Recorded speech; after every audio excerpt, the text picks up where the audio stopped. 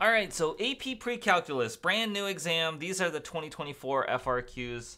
I will admit I am not too versed in the scoring guidelines for these. I've only skimmed through the curriculum. I generally know what it is that you're looking for, but um, if I point out any corrections, I will put them in a pinned comment below.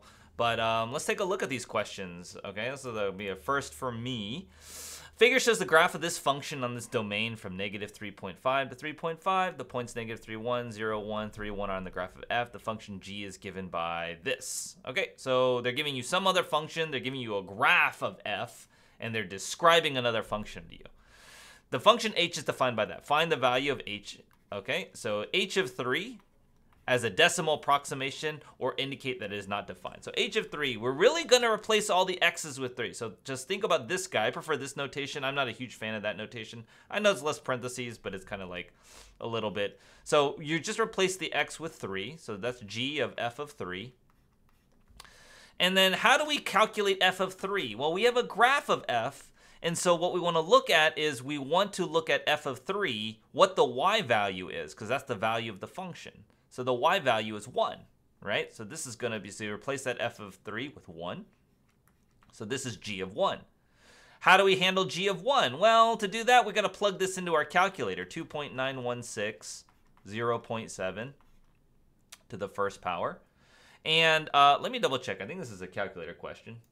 Yes, it is a calculator question. So I'm going to pull this up and just, um, oops, quit that, clear that. We'll do 2. 916 times 0.7 uh, just to the first power, right? Because it's 1. So that gives me 2.04, oops, and three decimal places is normally how we round these things, 2.041. Okay? Uh, or indicate is not defined. 2, okay, that's i. 2i, i2 is um, find all values of x where f of x is equal to 1, or indicate there are no such values. So when is f of x equals to 1. That's where the y value is equal to 1, right? So that's going to occur here and here, 3 and negative 3. So that occurs at 3 and negative 3. B.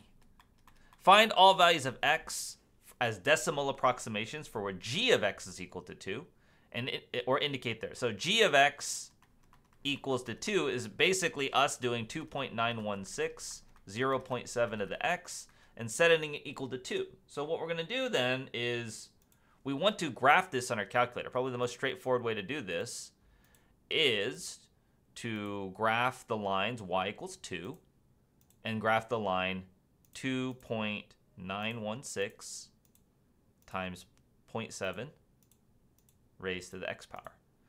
Now, um, windowing uh, is really useful when you're narrowing it down because I want the solutions um, actually, they didn't they didn't say any particular solution. So I might go from negative. Uh, usually default is Zoom standard negative 10 to 10, and I want the y values to go from say zero to three because I know it needs to hit two. So I want to graph and see where it inter intersects two. Okay. All right. So it looks like there, and it looks like it keeps going down even if I. So just that right at that point right there, it crosses the two, and so we do second calculate, and we're going to do intersection between this curve that curve. And then the guess, you just put somewhere nearby. It doesn't even have to be that close. Just closer. If there's multiple, you just need to be closest to that one. So that's going to occur at x equals 1.057.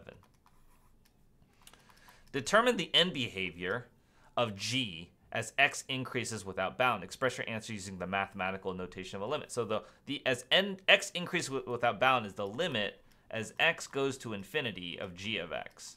And so what we want to know is when I do when this gets bigger and bigger and bigger, this is an exponential function, and because this number is less than one, it's going to shrink, shrink, shrink. We saw the graph. It's going to shrink and approach zero. So that is the limit notation. You want to say positive infinity because we're increasing and going to the right there. Part C, determine if f has an inverse function. So graph of f has an inverse function. So remember, there's a couple of facts about inverse functions, right? If we were to graph an inverse function, right? You would you would you would reflect it over the line y equals x. And functions only exist if they they pass that vertical line test, right? And that vertical line test, when I flip it, it becomes more of a horizontal line test. In other words, the inverse is only can only be found if like this thing passes a horizontal line test. That means it, it intersects only one point on the horizontal line. The other way to look at it is to say for a given value of y, for example, this y value of 1, there's a multiple x value. So I cannot find the inverse of 1 because there are multiple x values that do that. So we'd say no because there are multiple values, multiple values of x that map to y equals 1 okay, as an example for uh, f of x, which means that if I know y equals 1, it does it means you see if there were an inverse, that would mean if I told you a y value, you could automatically know what an x value is. Right? But if I tell you for f of x, I give you a graph, I say the y value is 1, you cannot tell me uniquely what the x value corresponds to. And that's why the inverse doesn't exist because the the, the x value could be negative 3, 0, or 3, and that's not unique. Give a reason of your answer based on the definition of a function and the graph y equals f of x. Um, let's see. Um, I don't know what the difference between 1 and 2. Um, this is probably the, I guess, the justification for 2 based on the definition of a function and the graph. So it fails the horizontal line test line test. Well, so definition of function means there has to be unique value.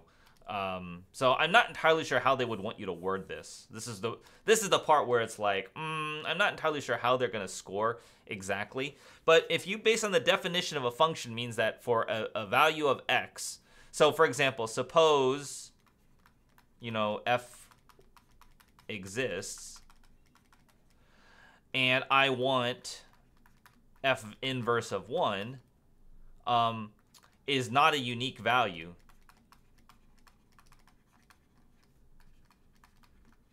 Because um, it could be 3, negative 3, 0, or 3. That's kind of what I mean by the definition based on the graph. Though if the if the y value of f is 1, then the x value is going to be kind of in matching in there.